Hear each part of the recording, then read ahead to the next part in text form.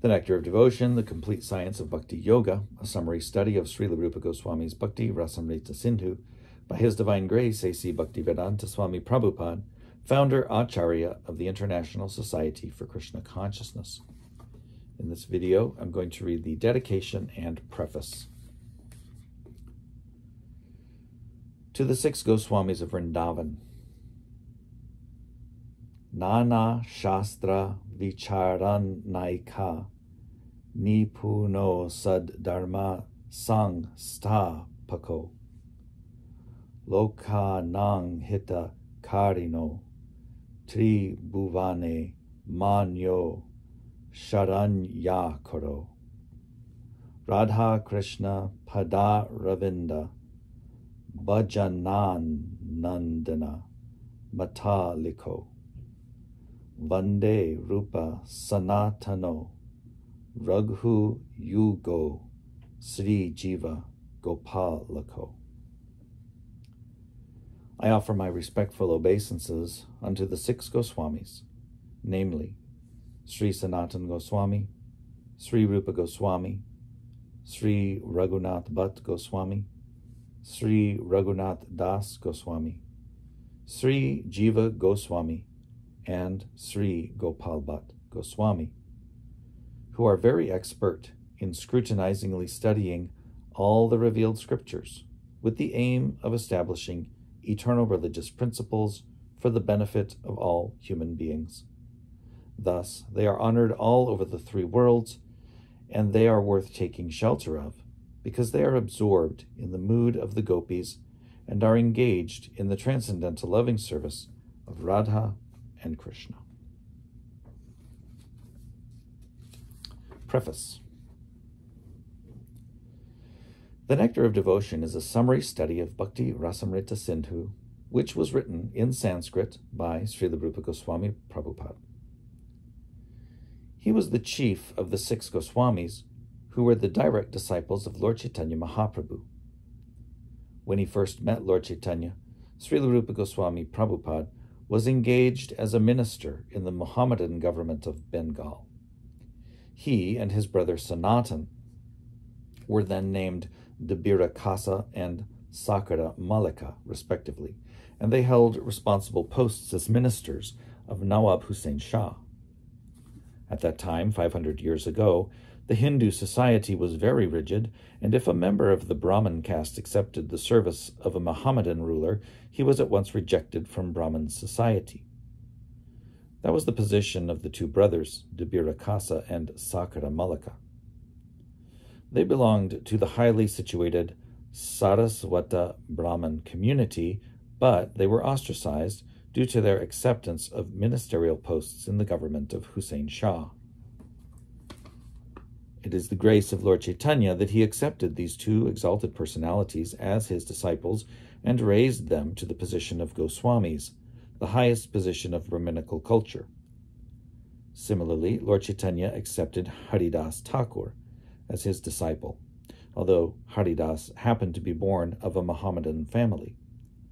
And Lord Chaitanya later on made him the Acharya of the chanting of the holy name of the Lord Hare Krishna, Hare Krishna, Krishna Krishna, Hare Hare, Hare Rama, Hare Rama, Rama Rama, Hare Hare. Lord Chaitanya's principle is universal. Anyone who knows the science of Krishna and is engaged in the service of the Lord is accepted as being in a higher position than a person born in the family of a Brahmin. That is the original principle accepted by all Vedic literatures, especially by Bhagavad Gita and Srimad Bhagavatam the principle of Lord Chaitanya's movement in educating and elevating everyone to the exalted post of a Goswami is taught in the Nectar of Devotion.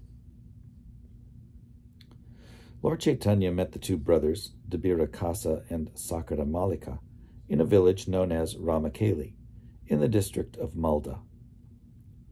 And after that meeting, the brothers decided to retire from government service and join Lord Chaitanya. Dabira Khasa who was later to become Rupa Goswami, retired from his post and collected all the money he had accumulated during his service. It is described in the Chaitanya Charitamrita that his accumulated savings in gold coins equaled millions of dollars, and filled a large boat. He divided the money in a very exemplary manner, which should be followed by devotees in particular and by humanity in general. 50% of his accumulated wealth was distributed to the Krishna conscious persons, namely the Brahmins and the Vaishnavas. 25% was distributed to relatives, and 25% was kept against emergency expenditures and personal difficulties. Later on, when Sakara Mallika also proposed to retire, the Nawab was very much agitated and put him into jail. But Sakara Mallika, who was later to become Srila Sanatan Goswami, took advantage of his brother's personal money, which had been deposited with a village banker, and escaped from the prison of Hussein Shah. In this way, both brothers joined Lord Chaitanya Mahaprabhu. Rupa Goswami first met Lord Chaitanya at Prayag, Allahabad, India. And on the Dashashwamedha bathing ghat of that holy city, the Lord instructed him continually for ten days. The Lord particularly instructed Rupa Goswami on the science of Krishna consciousness. These teachings of Lord Chaitanya to Srila Rupa Goswami Prabhupada are narrated in our book, Teachings of Lord Chaitanya. Later, Srila Rupa Goswami Prabhupada elaborated the teachings of the Lord with profound knowledge of revealed scriptures and authoritative references from various Vedic literatures. Srila Srinivasa Acharya describes in his prayers to the six Goswamis that they were all highly learned scholars, not only in Sanskrit, but also in foreign languages, such as Persian and Arabic.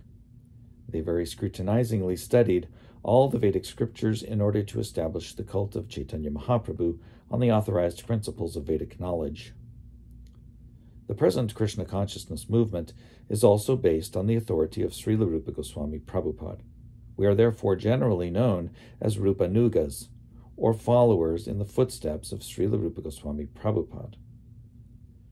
It is only for our guidance that Srila Rupa Goswami prepared his book Bhakti Rasamrita Sindhu, which is now presented in the form of the Nectar of Devotion. Persons engaged in the Krishna consciousness movement may take advantage of this great literature and be very solidly situated in Krishna consciousness.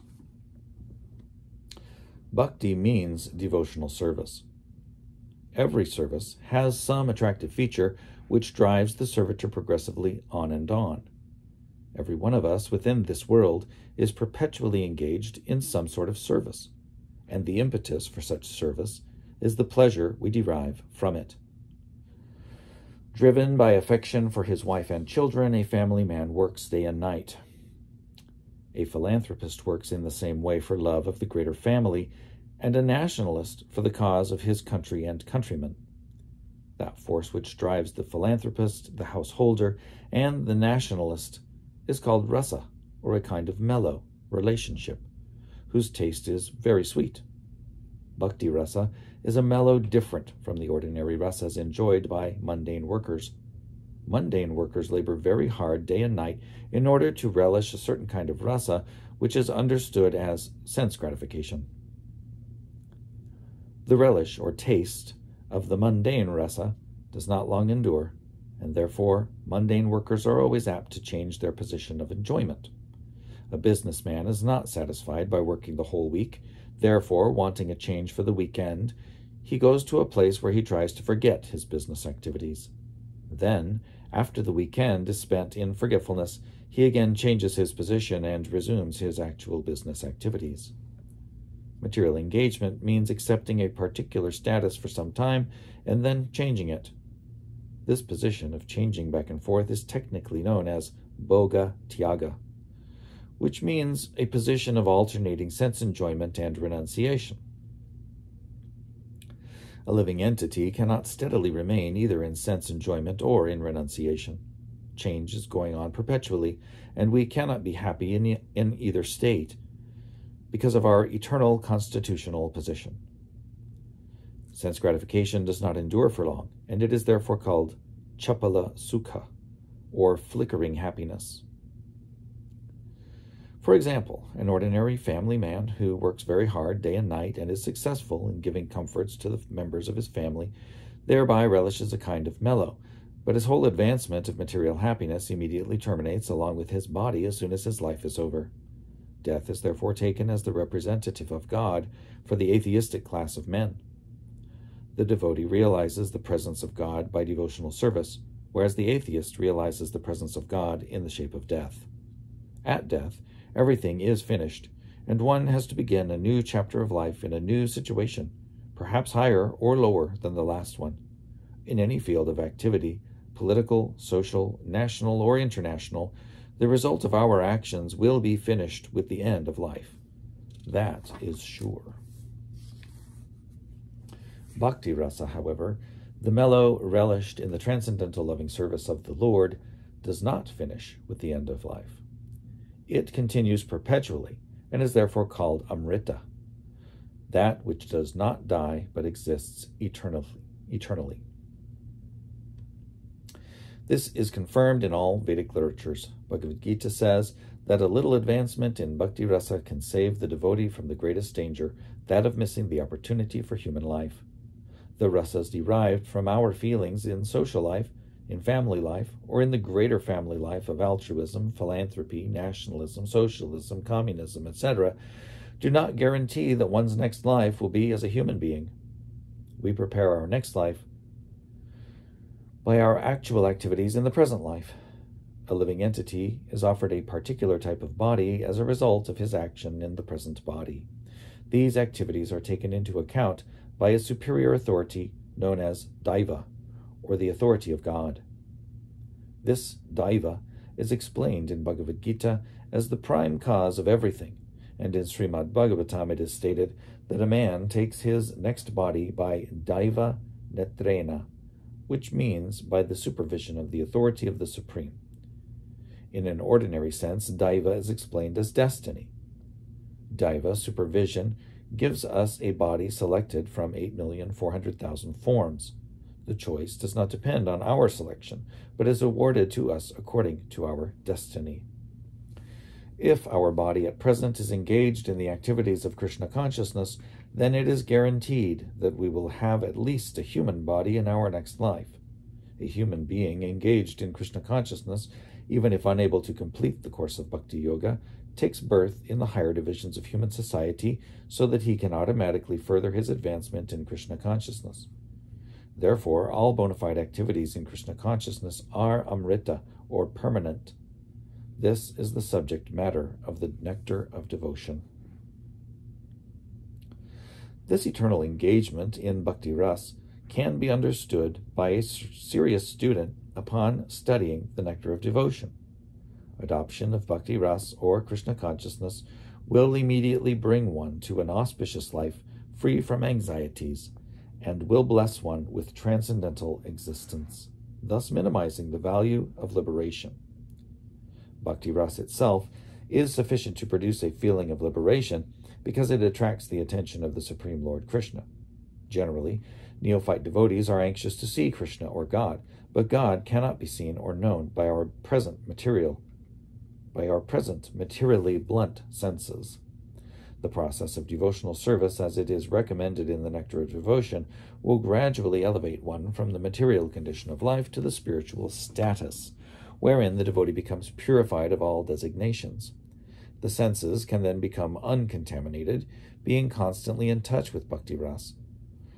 When the purified senses are employed in the service of the Lord, one becomes situated in bhakti rasa life, and any action performed for the satisfaction of Krishna in this transcendental bhakti rasa stage of life can be relished perpetually.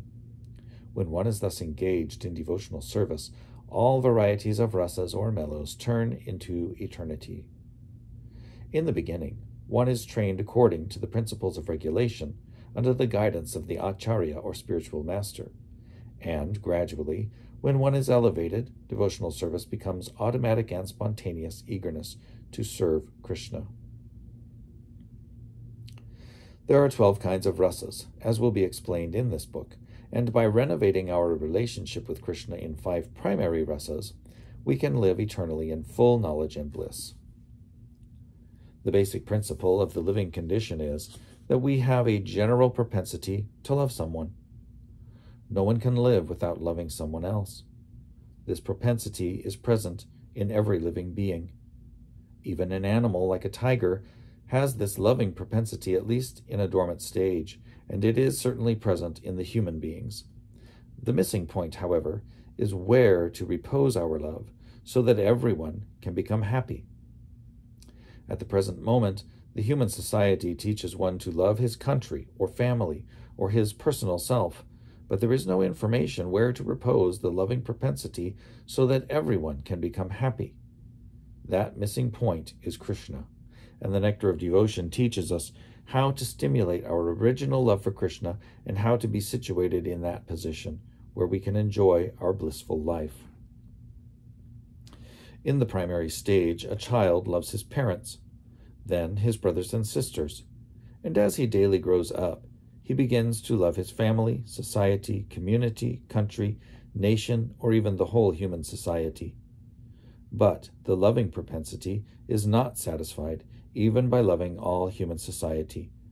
That loving propensity remains imperfectly fulfilled until we know who is the Supreme Beloved. Our love can be fully satisfied only when it is reposed in Krishna. This theme is the sum and substance of the Nectar of Devotion, which teaches us how to love Krishna in five different transcendental mellows. Our loving propensity expands just as a vibration of light or air expands, but we do not know where it ends. The Nectar of Devotion teaches us the science of loving everyone, every one of the living entities, perfectly by the easy method of loving Krishna. We have failed to create peace and harmony in human society, even by such great attempts as the United Nations, because we do not know the right method.